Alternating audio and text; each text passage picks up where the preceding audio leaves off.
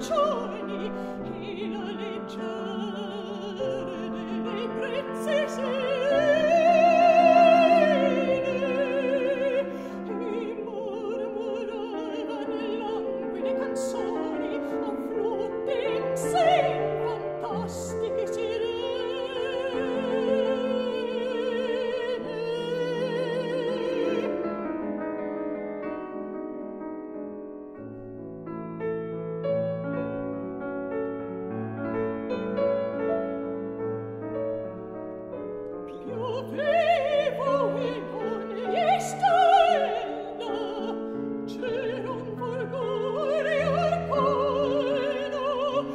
cielo